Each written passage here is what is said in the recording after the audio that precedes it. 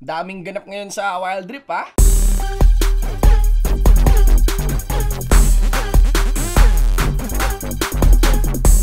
What's up guys, yung the one for an eye and in this video, i-breakdown natin at pag-uusapan yung recently released na preview ng patch 2.1 for League of Legends Wild Rift. So again, take note guys, this is a preview and not really the official patch. Kung naghahanap kayo ng official patch, merong darating as of recording bukas, no? And I think that is patch 2.1a. Ibig sabihin may mga darating pang ibang patches under this 2.1 at sinabi rin nga ng Riot sa preview na to that there will be 2.1a, 2.1b, and also C. Also take note na lahat ng babanggitin sa preview na to ay hindi lahat ng features na lalabas. Meron pa silang hindi nababanggit, no? So, be sure na abangan niyo yung mga updates pan darating for Wild Rift. And yeah, interesting lang, no, na approach ng Riot ngayon, nagbibigay na sila ng preview for the patch, no, bago pa man dumating yung patch itself. Nakaka-hype, di ba?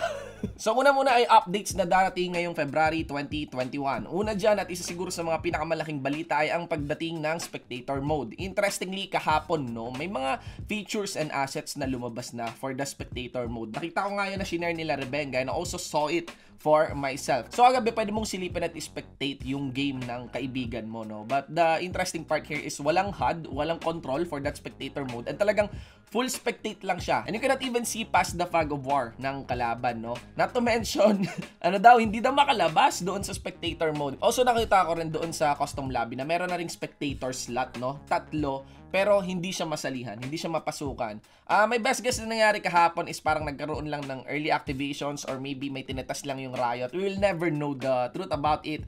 Pero one thing is for sure, no? Kung may mga ganung assets na already in the game, then surely darating na yung spectator mode. At yun na nga rin naman yung in-announce para sa preview na to.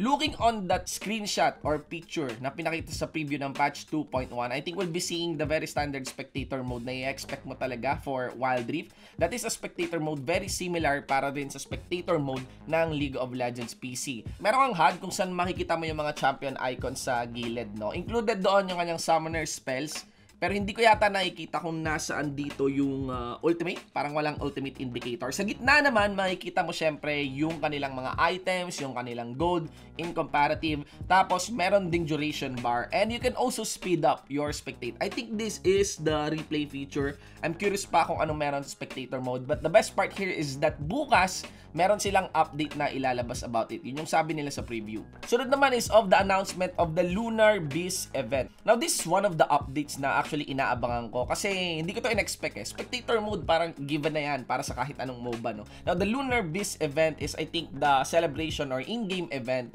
coinciding with the Chinese New Year celebration no? nangyayari madalas February, March. So, the thing here is that may mga bagong skins na darating. And actually, we saw the splash art of those skins na Lunar Beast. Pero for LOL PC itong mga splash arts na to, no? Uh, may binanggit din naman na may mga skins daw na lalabas or skin para sa Wild Rift na baka exclusive nga rin sa Wild Rift and that is Miss Fortune, no? Lunar Beast. Ngayon, kasama dito sa mga Lunar Beast skin would be of Annie, Darius, Jarvan 4, Fiora, and kahit wala siya sa Wild Rift, no, babanggitin ko na lang rin, there's also a Lunar Beast Viego. Also, for February, medyo expected, lalo pa February, ang buwan ng mga puso, February 14, Valentine's, ilalabas din ang unang couple champions for League of Legends sa Wild Rift, that would be of Saya and Rakan. Now, sa mga hindi nakakaalam, napaka-unique ni Saya and Rakan at bukang bibig talaga siya ng mga League of Legends players. But the best part about them is sila yung mga kauna-unahang champions na merong couple mechanic, no? Kung baga kapag pinagpares mo sila or pinagduo mo sila,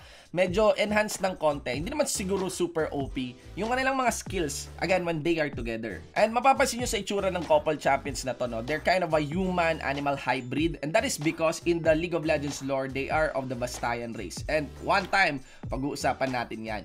Now, the best part about this patch 2.1 preview is that kahit kakarating lang natin sa February, binigyan na rin tayo ng info kung ano pa yung pwede nating i-expect sa buwan ng March. Now, this March, darating ang isa sa mga pinaka-high mechanics na champion for League of Legends and that would be of Katarina. Katarina is a very deadly champion mula sa great nation ng Noxus designed for high APM players. APM meaning actions per minute na players. High mechanics talaga ang dinadala nito ni Katarina. And there's a very big striking difference between Katarina of League of Legends PC and Wild Rift. Pwede kang gumalaw sa ultimate ni Katarina sa Wild Rift. Bukod kay Katarina, meron pang mga bagong champions na darating. I think coinciding with the Path of Ascension event. So itong Path of Ascension event, this is an event that takes place in Mount Targon, no? So sa mga di nakakaalam, yung Mount Targon yung isa sa mga importanteng focal point ng story for League of Legends. And itong mga champion releases na to, yeah, they're very much related to Mount Targon. At sila ay si Leona of the Solari, Diana of the Lunari, and Pantheon of Sparta. De joke lang. joke lang, joke lang. Pero sa ngayon, chill na lang muna tayo sa kanila dahil darating pa naman sila next month. Another awesome updates na darating sa March ay ang mga skins, no? Una dito ay ang Omega skin line. Ngayon nakita nyo na dun sa preview na kasama si Timo, pero actually kasama pa dyan si Tristana at Fizz. Now here's an interesting fact about the Omega Squad skin lines. Dalawa pa sa mga champions na kasama dun ay si Veigar at si Twitch nawala sa Wild Rift. So kung i-release nila yung Omega Squad skin line, ano ba? May chance ba na makuha agad natin si Veigar tsaka si Twitch? Or is this some sort of confirmation that we can expect them? And another skin line na gustong gusto kong na-emphasize sa inyo are of the Project skin line. Kaya ang Project skin line ay isang sobrang gandang skin line na talagang nung nirelease siya sa League of Legends, inabangan at nakapagpa-hype sa mga tao, no? Ang tema nitong Project skin line are your favorite League of Legends champions pero meron sila mga cybernetic enhancements, no? Tapos parang ang kwento niya is there is a conflict in this futuristic city between two factions of which one of the factions gusto gumante doon sa naglagay ng cybernetic enhancements sa kanila whereas the other ones naman are those of the servants who are against the vengeful faction.